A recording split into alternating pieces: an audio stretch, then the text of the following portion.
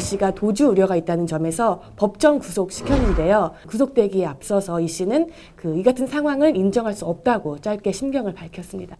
그런데 3일 후 판결에 불복하고 항소했다는 보도가 이어졌습니다. 항소장 제출돼 있는 상황인가요? 예, 변호사님이 11월 18일자 내셨네요. 아직 기록이 넘어온 상태는 아니고요. 기록이 넘어오지 않았다는 게 아직 항소심 일정이 아직은 안 잡혔죠. 사과는 있었나요? 사과는 아직까지 전혀 들어본 적이 없습니다. 이가 현재까지도 다른 기획사에서 매니저로 일을 하고 있기 때문에 저희 유가족 입장에서는 제2, 제3의 피해자가 나오지 않도록 하는 게 1차적인 또 저희 목적이기도 합니다. 고인과 유족에게 아픔을 주는 사건이 더 이상 발생하지 않길 바랍니다. 네, 브라질에서 체험 프로그램을 촬영하던 도중 경찰이 들이닥쳐 총으로 위협했던 사건. 한밤이 수소문 끝에 브라질에서 방송된 보도 프로그램을 입수. 그 당시 살벌했던 현장을 생생히 취재했습니다. 지난 15일 한국 방송사 제작진과 출연진에게 브라질 경찰이 총구를 겨눈 충격적인 장면이 보도가 됐습니다. 체포 후에 억류된 사람 중에는 배우 이현두 씨가 포함되어 있었습니다. 각종 버라이어티와 드라마를 오가며 꾸준한 활동을 펼쳤던 이현두 씨입니다.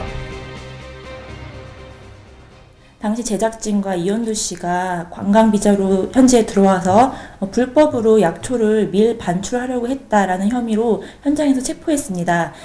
여러 날 억류가 된 후 귀국길에 올랐다는 다행스러운 소식이 전해졌습니다. 수척해 보였지만 침착한 모습의 이현두 씨였습니다. 안녕하세요. 저 걱정해 주셔서 감사하고요. 저 이제 무사히 잘 왔습니다. 머나먼 타국에서 힘겨운 상황을 꿋꿋이 견뎌낸 이현두 씨. 그간의 마음고생이 떠올랐는지 눈물을 보였습니다. 당시 상황을 알아보기 위해 현지 교민과 연결을 시도해봤습니다. 네, 브라질 TV 방송인 걸 봤어요. 그래서 검거된 거랑 막 그 자리에서 검거하는 거랑 다 나왔었거든요. 현지 브라질 방송 홈페이지를 통해 긴박했던 상황을 확인할 수가 있었는데요. 브라질 오지 탐험 체험 프로그램 촬영 도중 monitorou 내부에서 문제가 생겼습니다. E 현지 경찰에게 체포돼 여권을 압수당하고 억류됐는데요. 약초를 불법 채취하고 밀반출하려는 그런 혐의를 받았습니다. Qualquer componente da biodiversidade ambiental. E pela ausência do visto regular para negócios, serão expulsos do Brasil. 브라질 측의 주장에 해당 국내 방송사 측은 적극 해명에 나섰습니다. 약초는 현지 코디네이터가 족장에게 선물을 받은 것일 뿐이며 촬영 허가도 미리 받았다고 전했습니다. 몸은 괜찮으세요? 나중에 말씀 지금 좀 힘든 상황이니까 좀 그래.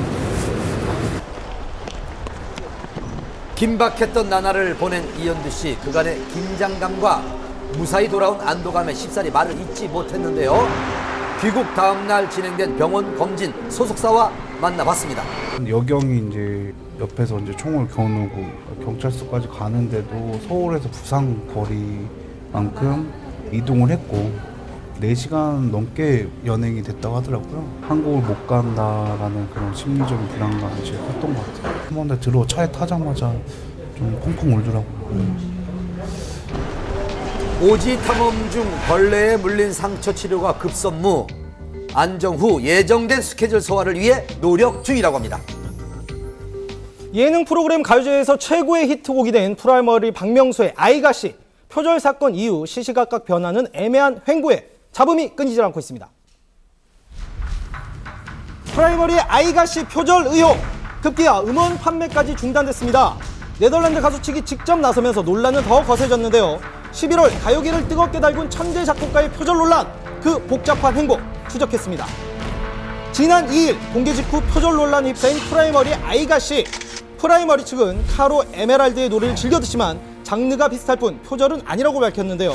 문제 부분 한번 들어보겠습니다.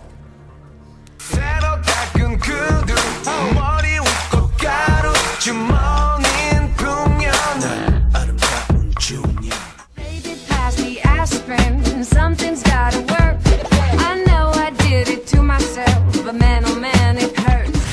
논란이 일자 카로 에메랄드의 프로듀서가 직접 SNS를 통해 자신들의 노래와 유사하다고 밝혔는데요. 아이가 씨는 카로 에메랄드의 노래 두 곡이 절묘하게 섞여 있다. 우리를 베꼈다고 생각한다 등 다소 강경한 어투의 입장도 전했습니다.